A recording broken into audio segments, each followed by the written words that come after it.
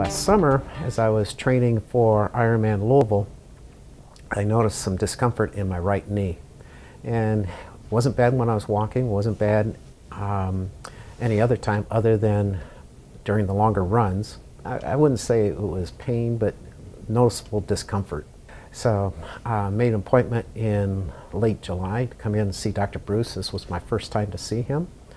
And I really appreciated his um, personality, his tenderness towards the situation, his understanding of the situation, and his conservative approach. I did the what's called the Dopey Challenge down at Disney World in January. It's a four-day, four-race event.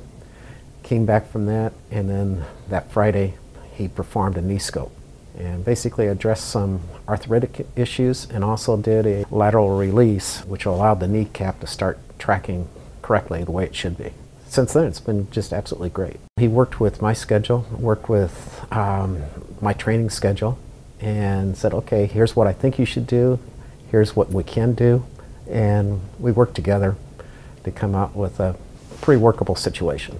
I am completely pain free, and in fact, I'm doing. Um, already started training for the next Ironman, which will be this summer in um, Boulder, Colorado.